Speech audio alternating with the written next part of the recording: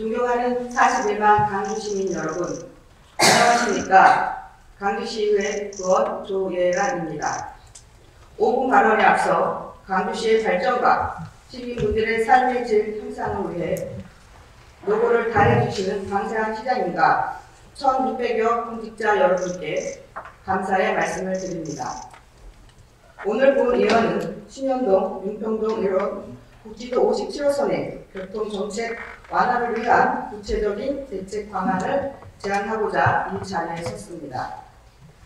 오고 지역 특히 신현동 일대의 경우 성남시 분당구와 접하고 있으며 강남 판교를 통과하는 주요 관문인 지리적 특성으로 인하여 인구가 급격히 증가했습니다. 이러한 인가 증가와 주거지 개발에 반하여 도시계획의 부재로 인해 교통 인프라 확충은 미비하여 지난 10년간 신현동 인구가 약두배 증가했음에도 불구하고 현재까지 차량으로 신현동에서 분당구로 이동할 수 있는 도로는 국지도 57호선 하나뿐인 실정입니다.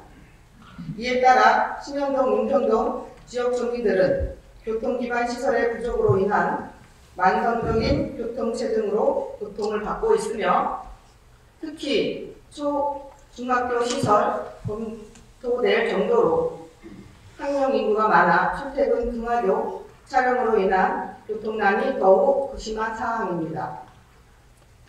강주시에서는 신현동 은평동의 교통 문제 해결을 위해 단기적으로 신현문화체육국가센터 주변 도로 개설 사업 등 지역 내 교통 개선을 통한 사업을 추진 중에 있으며 중장기적으로는 올해 9월 기획재정부 적격성 조사를 통과한 용인 강주 고속화도로 민간 특화 사업을 비롯하여 신현 직동 연결도로 개설 사업, 지하철 8호선 연장 사업, 국지도 57호선 우회도로 개설 사업 등 다수의 사업을 계획 추진하고 있습니다.